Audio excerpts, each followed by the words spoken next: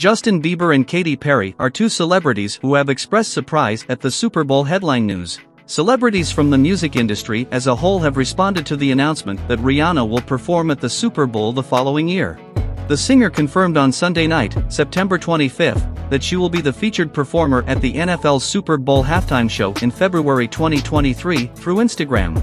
Following in the footsteps of other pop icons Lady Gaga, Beyonce, and Madonna, the 34-year-old singer and entrepreneur will perform first at what many people believe to be the biggest single musical performance slot in the US.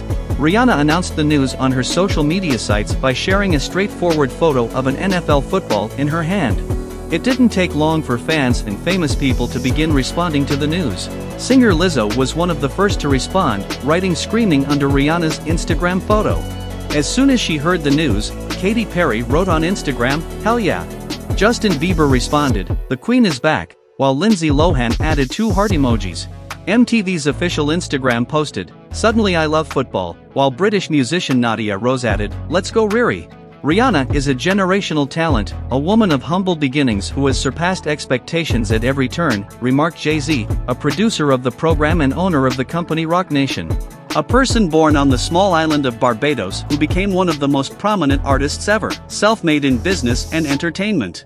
Offstage, Rihanna is known as Robyn.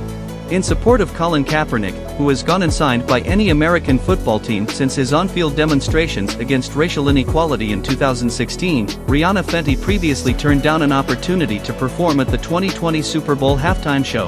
NFL head of music Seth Dudowsky commented, We are thrilled to welcome Rihanna to the Super Bowl halftime show stage, to bring fans another historic halftime show performance.